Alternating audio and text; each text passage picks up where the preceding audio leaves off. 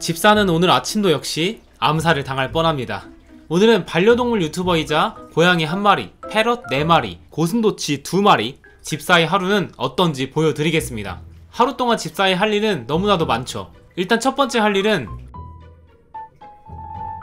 고양이를 쓰다듬는 건 세상에서 가장 편안한 휴식이에요. 옥시토신이라는 호르몬을 분비하는데 스트레스를 줄여주죠. 그리고 심박수도 줄여주고 혈압까지 내려준답니다. 이제 슬슬 일어나 봅니다.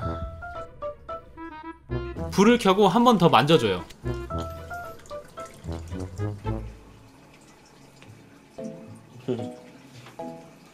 이제 애들 밥을 챙겨줍니다. 바바는 원래 자율 배식을 했었는데 바바가 남긴 밥을 패럿들이 자꾸 뺏어 먹어서 정량 배식을 하고 있어요. 지금은 하루에 75g 정도를 급여하고 있는데 15g씩 하루에 5번 나눠서 주고 있습니다. 이렇게 계량이 되는 스쿱이 있다면 정확하게 사료 양을 맞춰줄 수 있어요.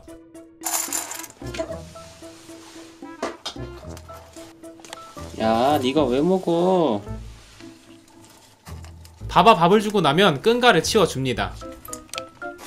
모래 속에 숨겨져 있는 감자와 막동산을 채집해줘요. 이때 똥 상태가 괜찮은지도 확인해요. 그리고 얼마 전에 광고를 받았던 로봇 청소기 똥봇을 돌려줍니다.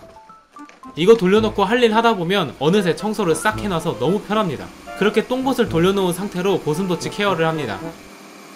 일단 밤새 폭풍처럼 싸놓은 끈가들을 치워줍니다. 똥을 보니 아주 건강하구만. 몸은 쬐깐한데 싸는 똥의 양을 보면 몸속에 똥만 찬 건 아닌가라는 생각을 해요. 머리에 똥만 찬 것보다는 괜찮... 깔끔하게 하우스 청소를 해줍니다. 그리고 우리 집 도치들이 집사보다 더 기다리고 있던 밥을 챙겨줍니다. 밥밖에 모르는 바보들.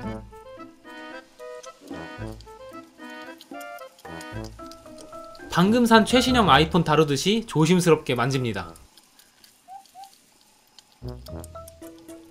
이렇게 고슴도치 아침 케어를 끝내고 똥보시 청소를 다 할 때까지 컴퓨터를 켜고 할 일을 합니다.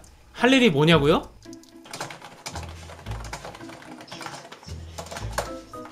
편집을 하고 있다 보면 똥보시 청소를 다 끝냈다고 엄청난 존재감을 내뿜어 줍니다.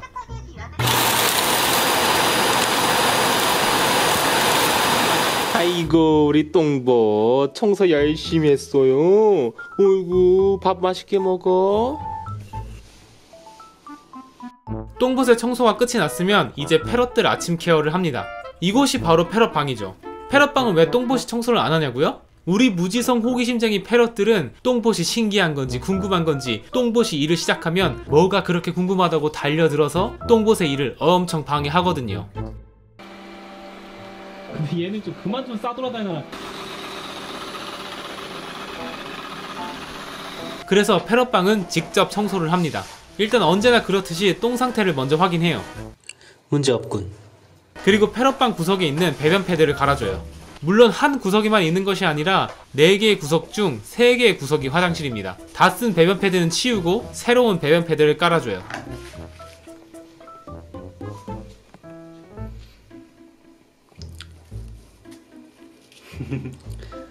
그리고 청소기를 한번 싹 돌려줍니다.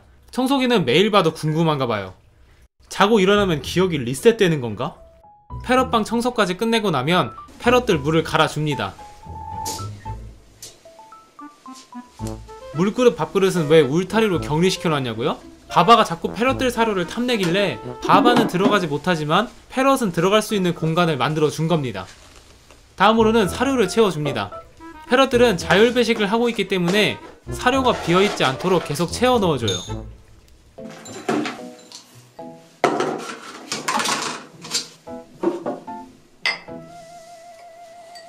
근데 이런 식으로 빼먹어요. 다리 하나 겁나 기네. 야, 봐봐. 네거 아니야, 그거. 봐봐.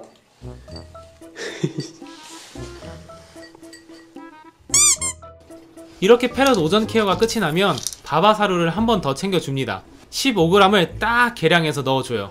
여기까지 하면 아침 케어 루틴이 끝납니다. 그리고 컴퓨터에 앉아서 일을 시작해요. 밥 먹을 때랑 화장실 갈 때랑 애들 케어할 때 빼고는 하루 종일 작업실에 처박혀 있습니다. 그리고 일하는 중간중간 애들이 귀여운 모습을 보여주면 바로 카메라를 들 수 있도록 카메라는 항시 옆에 비치해 둡니다. 이렇게 귀여운 모습들을 보면서 수명이 깎이다 보면 어느새 밥아 밥 줄 시간이 다가옵니다. 또 15g 맞춰서 밥을 주죠. 그리고 한 가지 비밀을 알려드릴게요. 잠깐 귀 기울여 보세요. 고슴도치만 똥쟁이가 아니라 사실 페럿도 똥쟁입니다. 체감상 real 3시간마다 한 번씩 똥을 싸요. 지금 페럿이 4마리가 있으니까 단순 계산을 하면 4마리의 페럿이 하루에 똥을 96번이나 싸게 되는 것이죠. 그런데 96번 중 한 50번은 인간 화장실에다 싸는 것 같더라고요. 그래서 작업실에서 편집을 하다가 화장실을 가기만 하면 무조건 패럿 응가가 항상 있어요. 처음에는 인간 화장실에 배변하는 게 좋다고 생각했는데 절대 그게 아닙니다. 배변 패드 위에 싸는 게 아니다 보니까 조금만 늦게 치우면 똥이 바닥에 들러붙고 오줌 자국도 생기고 아주 난리가 나요. 그래서 철수세미는 필수로 있어야 합니다. 하루를 마무리할 때 화장실 바닥을 철수세미로 빡빡 닦아줘야 해요. 그럼 화장실 문을 닫고 있으면 되지 않냐고요? 문을 닫으면 여기 문지방에다가 쌓아놔서 문틈 사이로 오줌이 흘러내립니다. 그럴 바에 그냥 화장실을 개방하는 게 마음 편하더라고요. 아무튼 이렇게 틈틈이 패럿들 똥을 치워주면서 귀여운 모습을 촬영을 합니다. 그리고 중간중간 애들 만지작거리면서 힐링을 합니다. 그리고 패럿방과 인간 화장실을 제외한 패럿들이 정해놓은 화장실을 둘러봅니다. 다섯 군데가 더 있어요. 혹시 패럿 키우려고 하시는 분이 계시다면 똥과의 전쟁은 각오하셔야 합니다. 그리고 패럿들이 사고 안 치는지 계속 감시도 해야 하고요. 그리고 또다시 컴퓨터 앞에 앉아서 편집을 하죠. 작업을 하다 보면 패럿들이 알짱알짱 거리는데 한 마리씩 납치해서 발톱을 잘라줘요. 발톱이 많이 안 길었으면 납치해서 양치를 해줍니다. 바바는 잠들면 발톱을 루팡해주고요. 이렇게 정신없이 지내다 보면 평화가 찾아옵니다.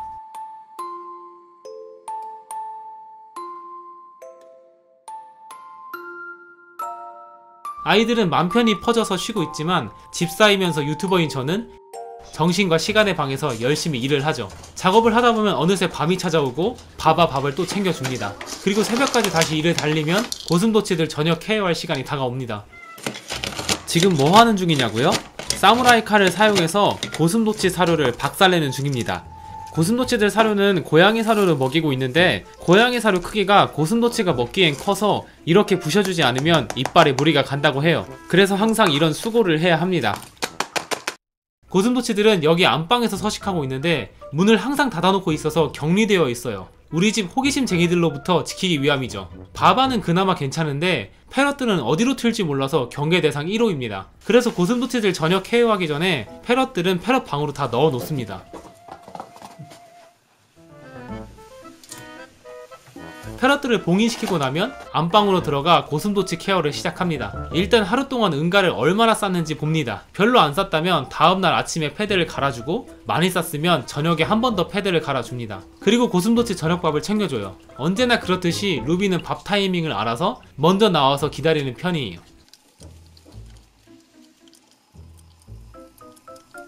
그렇게 고슴도치 저녁 케어 루틴을 마치면 남아있는 새벽 작업을 달립니다. 그리고 자기 전에 패럿들이 똥폭탄을 던져놓은 인간 화장실을 철수세미로 빡빡 닦아주죠. 그리고 패럿들이 패럿방에 봉인되어 있는 밤에는 밥아 밥을 좀 많이 넣어주고 다시 컴퓨터 앞에 앉아 남아있는 일들을 처리합니다. 아, 뭐야, 벌써 해가 뜨네. 이제 자야겠다.